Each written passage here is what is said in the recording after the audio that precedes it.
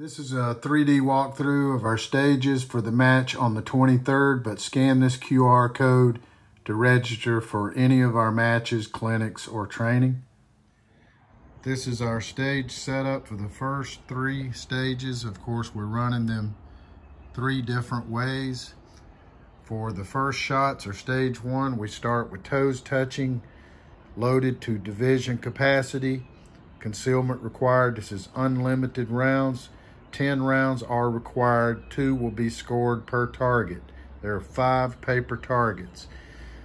On the start signal, draw, engage T1, T2, T3 as they become exposed. Then from position to cover, slice the pie right to left. For stage two, we call this keep it flowing. So we incorporate that same drill, start toes touching, division capacity, concealments required.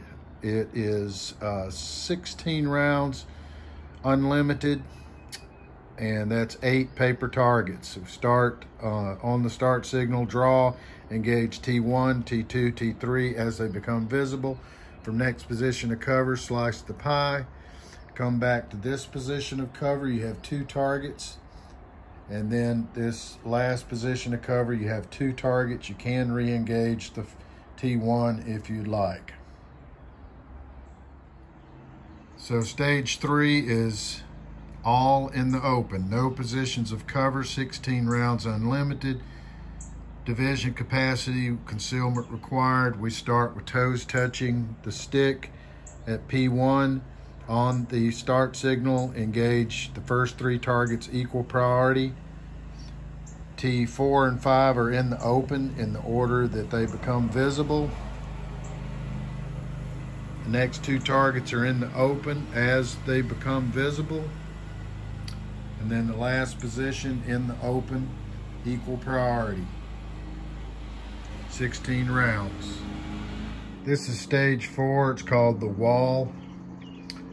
We start toes touching at P1 start position, loaded division capacity, concealment required. It's 18 rounds unlimited. The best three per target are scored. There's six paper targets.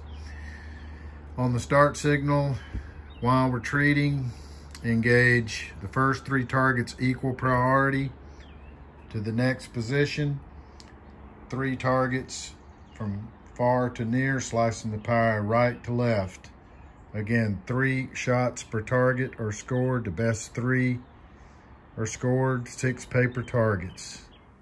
Scan this QR code for our practice score page.